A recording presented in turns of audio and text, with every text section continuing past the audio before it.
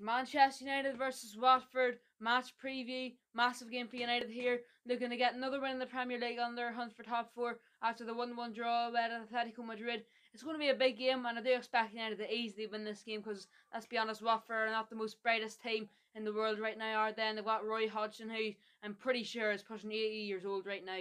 Um, So, yeah, I do believe that this should be a routine Manchester United victory, but you never know because teams lo- seem, especially like Watford, they seem to like to start playing like prime Barcelona against Manchester United. However, here I do think it will be a good win for United, and this is how I think we should line up. And uh, before we get into our lineup, Scott McTominay is still out with injury, and so is Edinson Cavani. I've said I said this in the um, match preview against Atleti. I'm not gonna spend too much time on it here, but Cavani needs to get it. Uh, he needs to get it together. Like he's been out for way too long, and we really do need his backup to Cristiano Ronaldo. Because if Ronaldo something happens, Ronaldo, if he's having a bad game, then we don't have Cavani on the bench to come in for him and possibly uh, be that super sub to score a goal. I'll probably have to play Bruno at false nine or bring Rashford or Elanga at striker. It's not really ideal, is it? So Cavani, you really do need to sort it out, and it's getting a wee bit of a joke right now.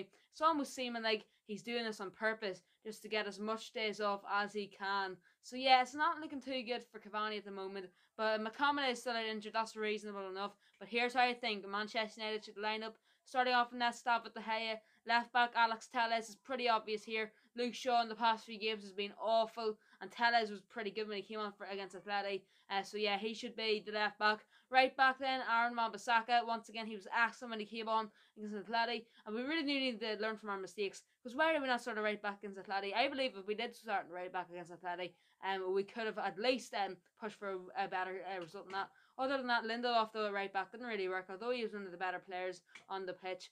Um, it didn't really work still. Wan-Bissaka did come on though, about 20 minutes ago, and he did play pretty good. So yeah, I'm going to trust him again here in the right back spot. I'm going to put him over Diogo Dalot in this game and make him the right back. Two centre backs in Rafael Varane, although he didn't have a bright game, that's mainly to Harry Maguire in my opinion because he's given Varane too much work and that's what's putting him under pressure in that game. So yeah, Maguire's dropped here by the way. Every time I seem to trust Maguire, he seems to let me down. Like so, I'm not gonna start him again until unless he, he goes in a good run of games.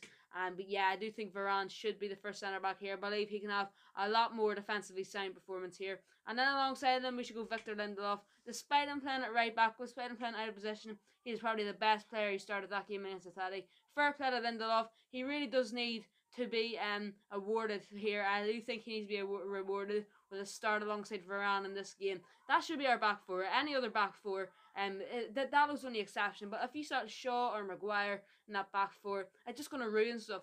And well, yeah, we're probably not gonna keep a clean sheet then. So if we keep that back four, I believe we can keep a clean sheet here against the Hornets. Now in the midfield, I have decided to stick with the three same midfielders uh, that was playing against Atleti. And here's why. Those three of them played pretty bad. Here's why. Fred though, although um he still he wasn't great there in the past few games, he has been pretty good, and you know he always gives his best for Manchester United. So yeah, I do believe in McTominay's absence, he should start at CDM. Then the centre mid Paul Pogba, although Paul Pogba looked extremely out of his depth about Athletic, I do believe here against Watford, coming up against players like Ozan Tufan and Tom Cleverley, he should really run the show once again. I do expect him to even score a goal in this game too, so he should be the centre mid. And then Bruno Fernandes playing alongside him. Fernandes still, although he had a bad game, he always seems to get a goal or assist in a bad game. That's what I love about Bruno Fernandes. He always gets him his way into a goal contribution, whether it's a good game or a bad game. I do believe here he'll have an excellent game against Watford, and yeah, I do believe that should be our midfield trio. All, three did pretty bad against Atleti, but I do believe all three can do pretty good here against Watford. Next, then at left wing, we're going to go with Rhythm as a dancer, Anthony Elanga. He has been so good for Manchester United.